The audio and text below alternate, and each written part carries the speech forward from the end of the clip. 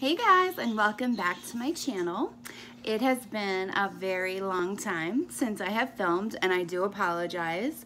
I feel like I say that at the beginning of every video but the reality is life just gets the best of me sometimes and then I just go away for a little while and I feel refreshed and I come back so that's pretty much that.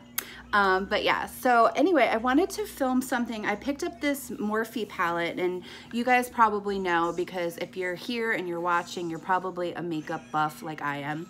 But um, they have been kind of repackaging and doing a lot of different things and new formulations, even creamier, um, more longer wear um, products. So this is the 9C Jewel Crew palette and basically it's a small palette for Morphe because you guys know Morphe is pretty um, big, you know, as far as their palettes go. They usually have quite a variety, but this is a smaller palette and the price point is really, really nice and I'll link it down below for you guys, but it just gives you some warm tones and some jewel tones. So I thought this would be fun and different and I kind of work want to work with some of the cooler tones since I feel like warm is just all over the place. Everybody has warm eyeshadow and a lot of people like to do that for spring and summer but sometimes when you have kind of like cool tone skin or more neutral skin, maybe you have like purple hair or different colors like I tend to do, um, sometimes warm can look really good, but sometimes it can kind of, you know,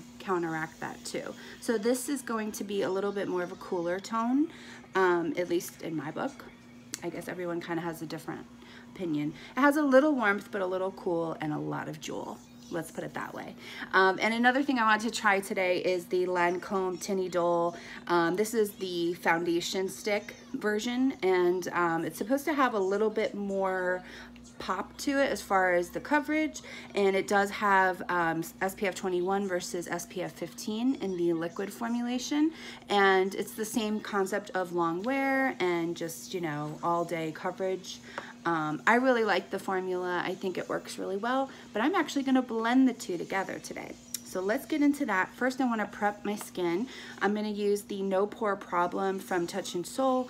This is a really cool product, you guys, because it works on um, helping to blend out your pores and blur them away, but it also adds a bit of hydration.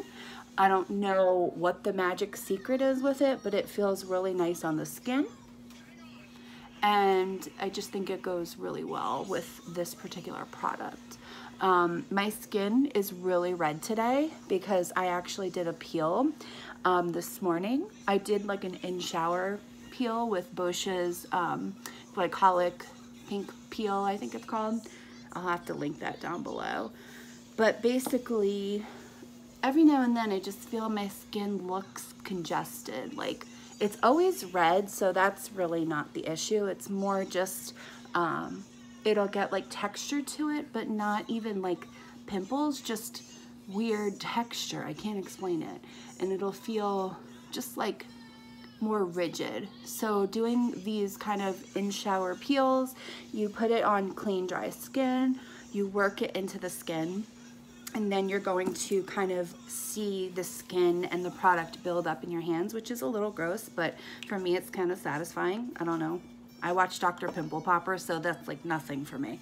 Um, but anyway, you see the skin kind of collect and then you're gonna rinse it clean. They say to follow with moisturizer, but I actually go in and I follow with just a soothing cleanser just to make sure all the peel is away. Um, sometimes even a facial oil. And then I go in and moisturize my skin. So I did that today just because I felt like needed it and I do feel a bit more rejuvenated even though I get a little more red, but I'm red anyway, so what you gonna do about that? Anyway, I put my lip balm on. I always use my Vaseline. I have rosy lips and also the um, Shea Moisture one, I think it is. They're both so good. And they just prep your lips really nicely when you're doing your makeup. And so let's go in. I'm gonna go in with the stick formulation first. I like to start with this and blend out with my liquid. I've seen other people do it. I, I think Patrick Starrr will do like a liquid base first and then pack on like a cream foundation, but this is just what works for me. Sometimes when I do it the opposite way, I feel like it moves the cream um, or the cream moves the liquid and it just gets runny, but I could be wrong. Um, so anyway, this is the color 230 Buff W, which is a little bit warmer for me. but I have been unfortunately getting color and I know, right? How funny is that? You don't hear that much on like Instagram and YouTube world, but I actually prefer not to have color because I don't want to damage my skin. But it's kind of inevitable when you're a mom and you go outside with your kids. Um, you just get color no matter how much sunscreen or makeup sunscreen products you wear. So I'm gonna mix a little 260 bisque N and then also a 330 bisque N, which I know sounds crazy, but the Teint Idole colors are just so different as far as, you know, what matches your skin. And I'm usually very fair, but I just feel like these this combination works really well. And I'm buffing this in with an IT Cosmetics brush, a Bye Bye, this is the Bye Bye Pores powder brush, but I use it for my liquids. You guys know that. I love this thing. It's so big and soft and dense all at the same time. And you can see how well it just blends all those products together. So in the last few weeks since I have seen you guys, I now have an eight-year-old son. So my little guy had a birthday. Well, my little guy, my older guy, I should say, because I have two. Um, my youngest is four, and now my older son is officially eight. I'd say eat with an attitude because I don't even know where these kids get their attitudes today. They are, he's a great kid, he really is, but he's just definitely finding his voice, if you will. And it's hard for me as a mom because I want him to become more independent and talk to me and tell me things and, um, you know, not hold back. But, but then sometimes I'm like, whoa, okay, that's a little too forward. Thank you for telling me that, you know, a little too honest. But, um, you know, he's finding his voice, but at the same time, you know, as a parent, you have to have limitations to every little thing. So it's been an interesting ride, to say the least.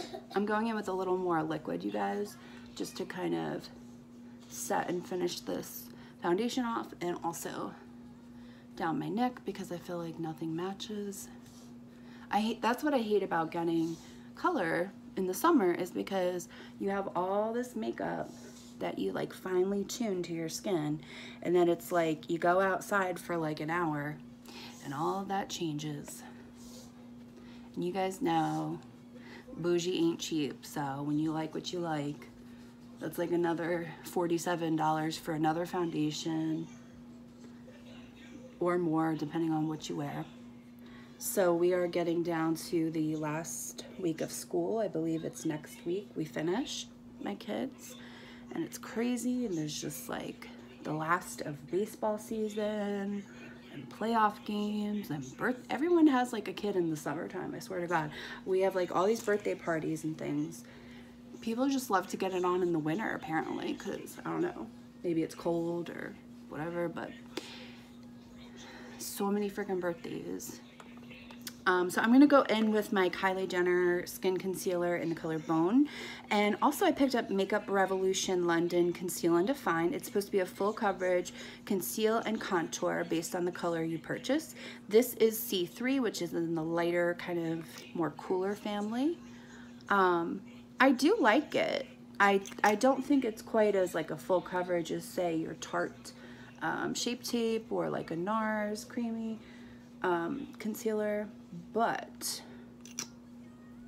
I think for the price point, it's a really good product.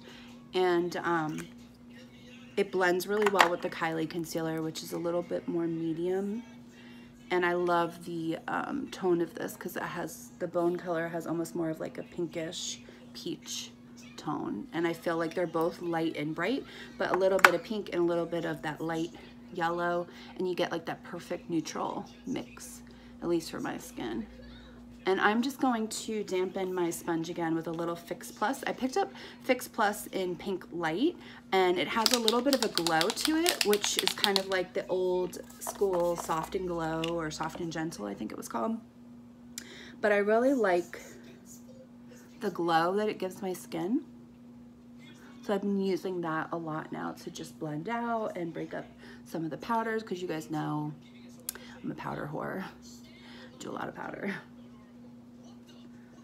But yeah, so I've been like going through transitions lately with just kind of dealing with, you know, every now and then I get like homesickness because when you completely like relocate, I don't know, some people do it and they just, you know, get back into a swing of things so soon, but I've had such a hard time since moving south from the north. And I think a lot of it is because my brothers and my nieces and nephews are there. Like it's just, it's hard for me. It's really hard.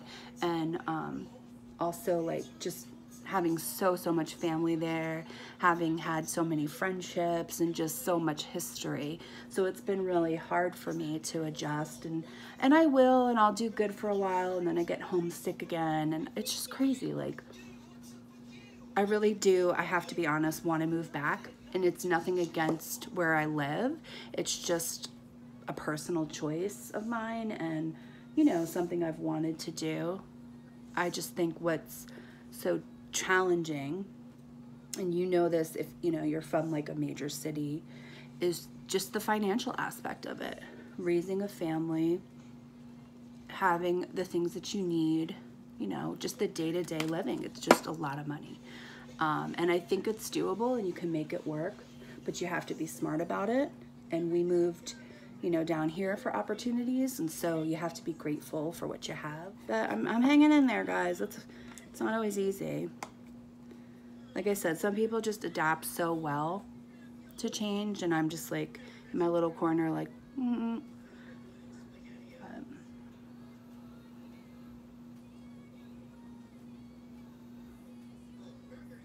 Okay, so I'm just setting my under eyes right now with some Dermablend, and then I'm also gonna go into the rest of my face.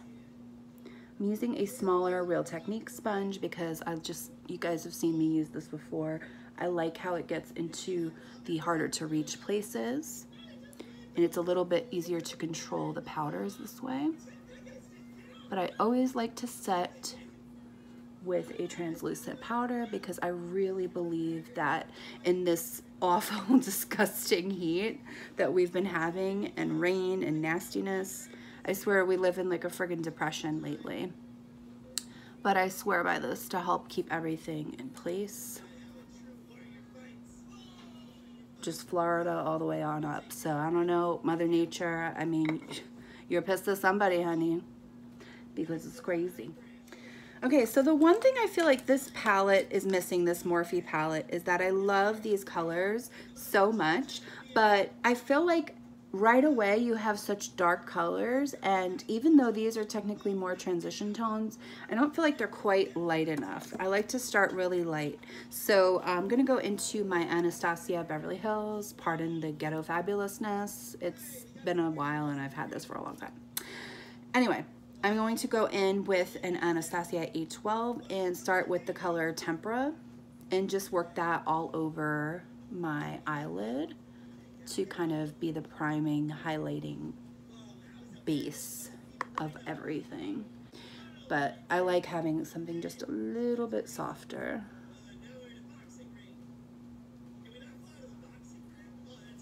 The next color I want to use because I want to stick with some of these like purpley tones in this palette is I want to take this really pretty color Buon Fresco, which is like a soft kind of, almost like lavender taupe color and I'm gonna work that into the A12 and kind of tap that out a little bit. And it's got, it's almost deceiving because it has quite a bit of color, this Buon Fresco, but it's like a nice, cool, almost like taupey lavender gray. And I feel like it works well with some of the purpley tones in this palette. But I'm just gonna blend this in back and forth into my crease. And I'm even gonna take a little bit on the outside corner here. When I start my colors too, guys, I, I usually start kind of with my head tilted back, working into my crease. And then I kind of start to straighten my head out and straighten the brush out. I just feel like it blends it really nicely. without leaving any kind of harsh marks or lines. All right, now I'm gonna go in with a Morphe brush my um, M441. You guys know I love this brush. This is really great for building the crease. And I'm going to take the color Rich Girl in the Morphe palette.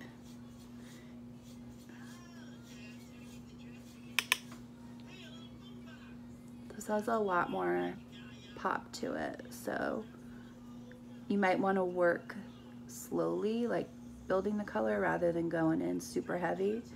But um, if you're a heavy hitter, then more power to you.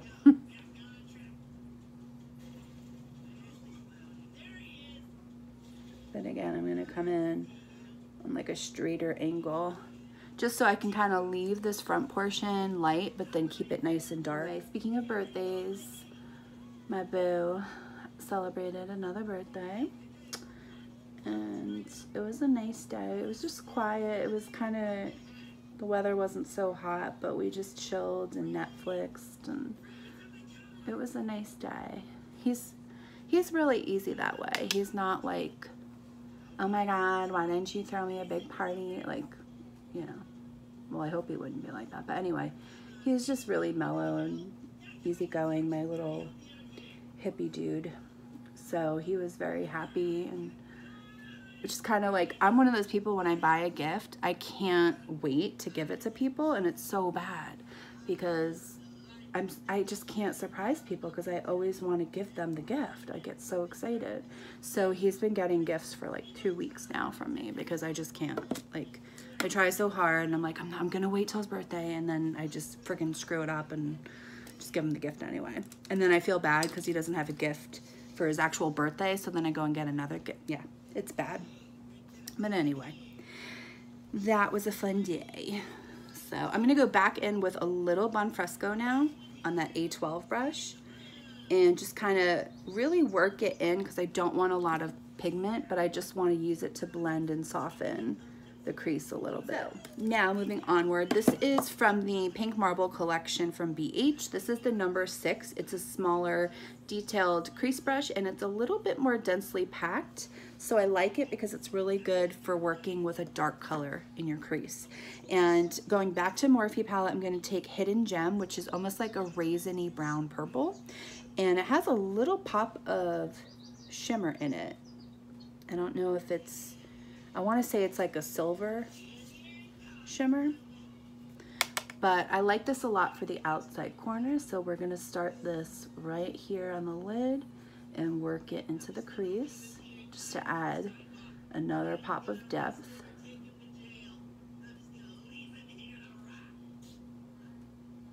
And then just kind of tilt your head, work it into the crease, whatever's left on the brush. It's dark, but I like it a lot. Go back in again, a little more Buon Fresco. It's like the color of the day, you guys.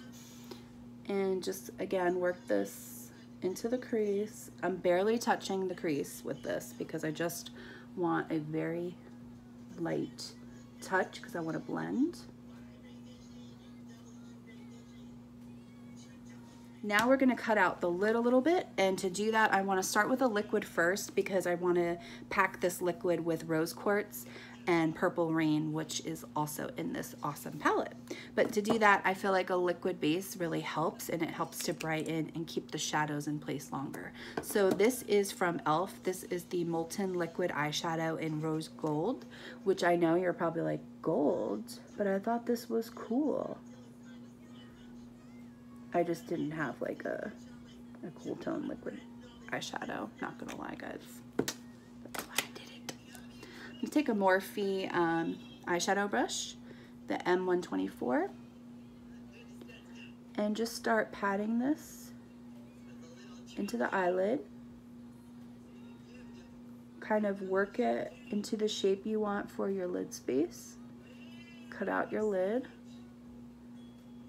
And then I'm just gonna pull a little bit into the crease here. But I wanna kinda leave this front portion nice and dark. That's my trick. I don't pull the color all the way across the lid. I just kind of pull it across halfway and then I go up into the crease with it. But yeah, it just brightens up the whole eye doing this and you can actually take whatever's left and just kind of pat it onto the inside corner here just to brighten and it almost enlarges the eye too. I mean, I have pretty large protruding eyes, but if you have no lid space, you can kind of go up here into the beginning of your crease area by the brow bone and just put a light soft color and that'll help to just really pop that. So now I'm gonna hit this brush with a little Fix Plus. And what I wanna do is actually go into Vermeer, which is in the Anastasia palette. And I wanna take that first because it's a very pretty champagne pink. And I wanna pop that on that inside corner and really brighten so you can see the difference of how it pops. Okay, now that we have the inside corner light, we're gonna go into Rose Quartz, which is in that Morphe palette. And just take that onto the first portion of the lid. Just kind of that, here's the inside corner and then right at the front part of where the lid starts.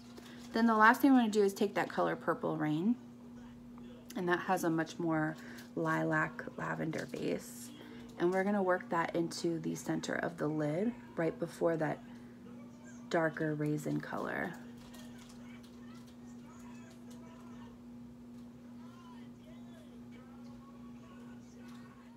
But anyway, I have the lid base set. Now I just wanna come in and smoke out the lower lash line a little bit. So to do that, I'm gonna grab an IT Cosmetics pencil brush or a smudge brush, you know, anything. And I'm gonna take that Hidden Gem Raisin color and also mix it with Rich Girl and start working that into the lower lash line.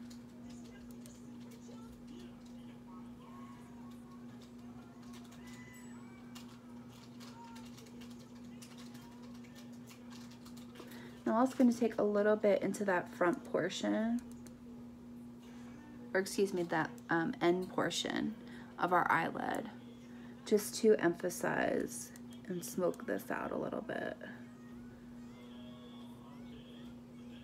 And then I'm going to go back in with that BH number six brush and just kind of smoke it into the outside corner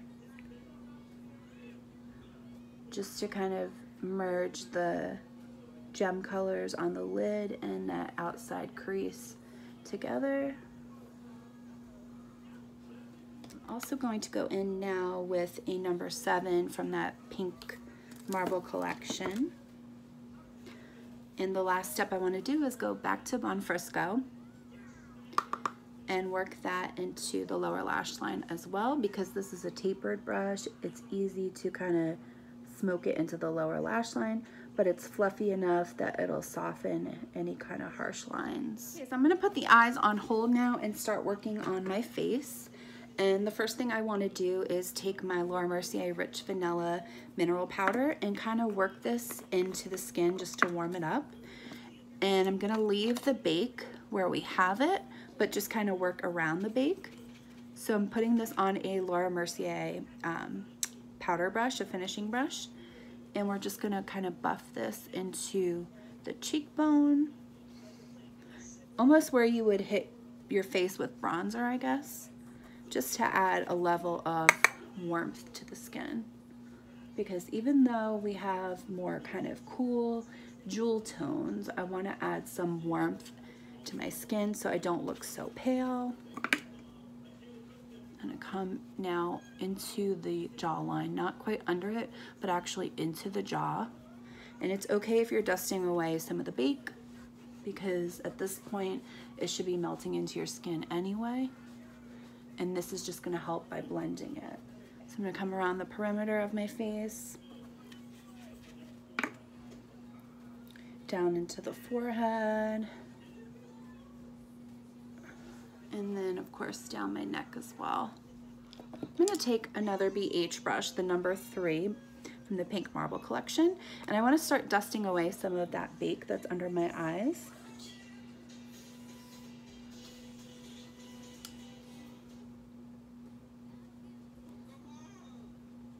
And also the bake left over on my chin. My jaw.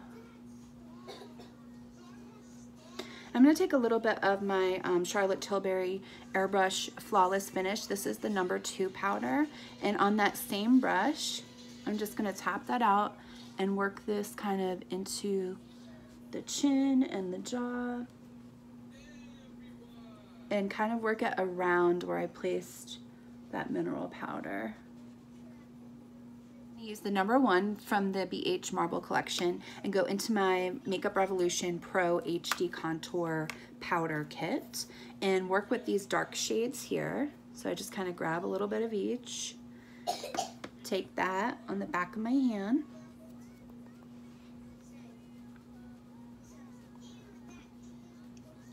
and right in that hollow of the cheek, I'm gonna work this for contour.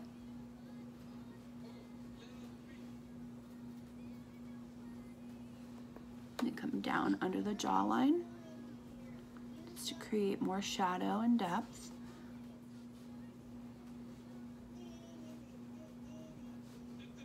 Now going back in, I'm gonna use some of these lighter colors on top. And that's what I usually work onto the forehead. I don't like it too dark or muddy around the top of my head, but I do wanna add some shadow and depth. So I feel like using those lighter colors keeps it more natural for me. But I do want to condense some of the space on my forehead. And then after that's done, I go back in with a Duo finishing brush and just kind of blend it, almost like a blending that mineral powder in with that contour. One last thing. I'm gonna go in with a Morphe sponge and take this soft kind of pinkish white color and the yellow here and I mix them both onto my sponge, tap it out, and work that under the eyes for brightness and also onto the high point of the cheekbone to highlight. Again, I know it feels like a lot of powder, but it really sits and builds beautifully on the skin. I'm actually gonna go and do my liquid eyeliner off camera as well as my eyebrows because it's kind of like repetitive and you've seen it before. Again, I'm using my Stila um, Stay All Day liquid liner pen. And um, I'm also gonna use my Maybelline mascara and then what else? We're gonna do Anastasia's Brow Wiz for brows today. Just kind of speed up the process here. And then we'll come back and finish the rest of the look. Okay guys, so now it is time to finish with blush and highlighter. So for blush today, I wanna mix a little bit of Rapture Afterglow from Urban Decay and then a little bit of my nude blush from Maybelline Fit Me. Both are in that real pretty mauvey pink family and I think it's gonna complement the eye look. So I'm just gonna take a little bit of each and work them into my hand.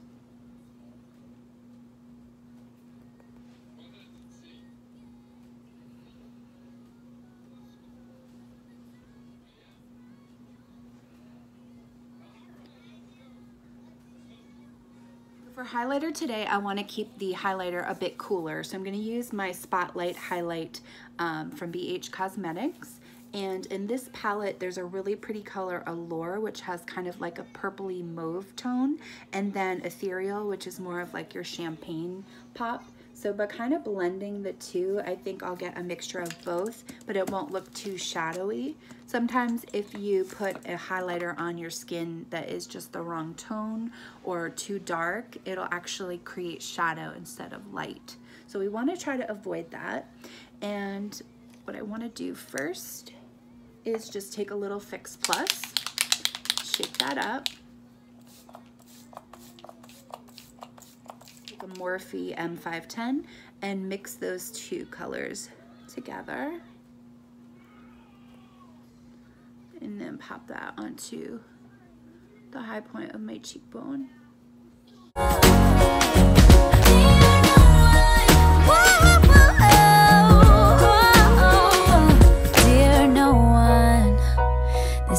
Okay guys, so I just put a little bit of foundation on my lips and the reason being is that Um, I like to neutralize always before I go in with a lip color. And for today's look, I want to do kind of like a raisiny ombre look to kind of emphasize some of the cool tones in this um, makeup eye look. So I'm going to use um, from Laura Mercier their red chocolate, which is a little bit warm, and then fresh, which also kind of has like a warmth but it's like a warm cool. So I guess they're more neutral tones. Um, and I'm gonna take the red chocolate first to line my lips. And let's see here.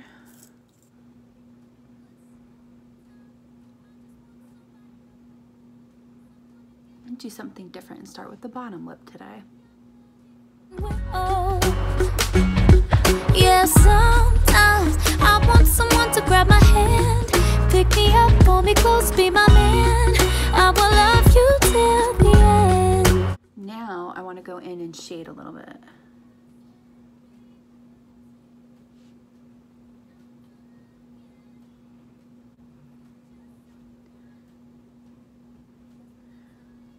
So smoothing it out with your finger is definitely going to help create more of that ombre effect. Now we're gonna go in with that really pretty color, Fresh. And this is the Velour Matte Extreme lipsticks from Laura Mercier. I love these so much.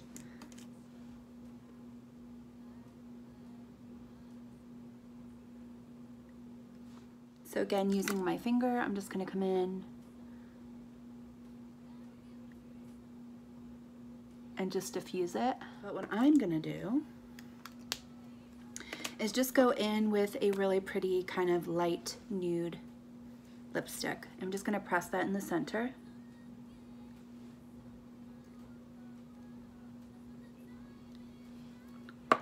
And then again, use my finger, or you can even use a brush too. And just kind of pull some of the darker colors into the lighter color in the center. So I know we did Fix Plus, we broke up some of the powders, but I like to break up the powders, put on my highlighter, and then seal it all in with like the final top coat. So to do that, I always use my Skindinavia Makeup Finishing Spray. And this is great to control oils and just lock the look in place all day. Okay guys, so this is the finished look and I love it. Always, always love it. Yeah, I like it. I like it a lot. Um, anyway, now that I'm done admiring myself, um, so recapping, we used the Morphe Cool Jewel 9C palette, Jewel Crew, excuse me, whatever, Cool Jewel, Jewel Crew 9C Morphe palette. Anyway, um, I really, really love the performance of these shadows. I'm very impressed. Um, so yeah, really, really love it. Definitely, I consider this more of a cooler purple smoky eye, but um, I mean, I could be wrong. Like, I feel like the lines of cool and warm are so close now with some shadows because of the way things are mixed and created. But it's fun because we get to play with so many different choices now. And I think that that's so bomb and awesome. Um, but anyway, I really love this look. I hope you guys enjoyed this get ready with me, this tutorial. If you have any more questions, just comment down below. Please give me a thumbs up if you like my video and subscribe to my channel if you have haven't already. And I will try to keep the videos coming closer together, hopefully with summer and not having all these school activities and things, it will be a little bit easier for me to continue to film more. Um, but just know that, you know, yeah, I love what I do. It's just hard to always do it. So anyway, again, hope you guys enjoyed this tutorial. I've said that 25 times. Until the next time close, be my man. I will love you till the end.